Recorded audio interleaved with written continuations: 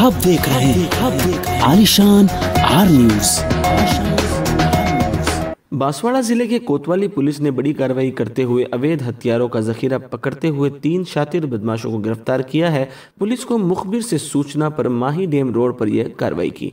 बांसवाड़ा ज़िले के कोतवाल रतन सिंह ने बताया कि पुलिस अधीक्षक राजेश मीणा, अतिरिक्त पुलिस अधीक्षक कान सिंह भाटी के निर्देशन में ज़िले में अवैध हथियारों की धरपकड़ को लेकर अभियान चलाया जा रहा है, जिसके तहत अवैध हथियारों को रखने वाले अपराधियों को पकड़ा जा रहा है। इसी के तहत पुलिस को मुखबिर से सूचना मिली, माही डैम रोड पर बाड़वी के पास पुलिया ने खाटवाड़ा निवासी समीर खान, बोरखेड़ा माही डैम निवासी जुनेद व प्रतापगढ़ ज़िले के जाहिद अहमद को पकड़ा।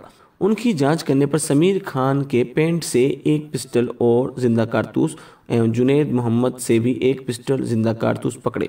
वहीं जाहिद अहमद की तलाशी में 12 बोर का देसी कट्टा पाया गया।